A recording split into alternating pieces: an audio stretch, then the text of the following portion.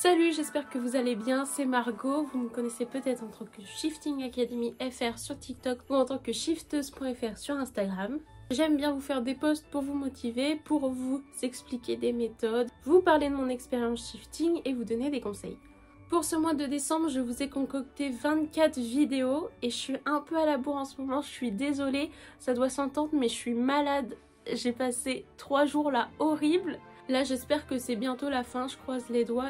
Et, du coup je m'excuse pour euh, ce léger retard. Donc c'est possible que vous ayez plusieurs vidéos le même jour pour rattraper euh, les vidéos que j'ai pas pu poster ces derniers jours. Donc aujourd'hui on est le 11 décembre et on ouvre la 11e case de notre calendrier de l'Avent. Il s'agit de la Elevator méthode ou la méthode de l'ascenseur. J'espère qu'il n'y a pas trop de bruit autour de moi parce que je suis tellement à la bourre que je suis obligée de filmer mes vidéos quand il y a tout le monde à la maison. Bref, euh, je considère que vous pouvez utiliser cette méthode en awake et en sleep méthode. Euh, d'ailleurs, personne ne m'a dit sous mes vidéos, mais il y a plusieurs vidéos où au lieu de sleep méthode, j'ai marqué sleep méthode. Ce qui ne veut rien dire. Enfin, j'espère que ça ne veut rien dire. Première étape de cette méthode, il faut tout simplement s'allonger confortablement, se mettre confortablement dans la position qu'on veut. Vous pouvez écouter des subliminaux ou non, c'est comme vous voulez.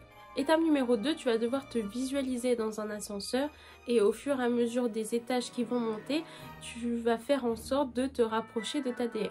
Et si tu veux, tu peux imaginer que chaque euh, étage où s'arrête l'ascenseur ou monte l'ascenseur, c'est euh, une réalité qui existe et plus tu montes d'étage, plus euh, tu te rapproches de ta DR et au bout d'un moment, l'ascenseur s'ouvrira sur ta DR. En fait, ça va marcher avec ton énergie.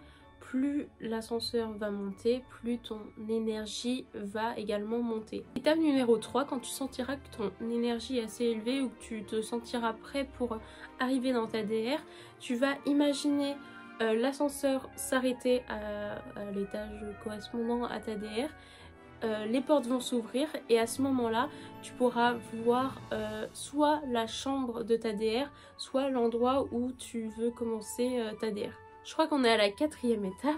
Quand tu auras bien regardé ta chambre et tout ça, normalement tu vas devoir imaginer le toit de ta DR en train de dormir. Donc si tu es dans ta chambre de ta DR, tu vas te voir le, le toit de ta DR allongé par exemple sur le lit en train de dormir.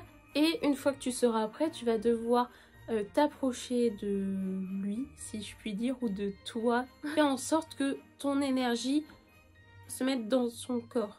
En fait, c'est comme si tu faisais un transfert, tu te mets toi, le toit de ta CR, dans le toit de ta DR.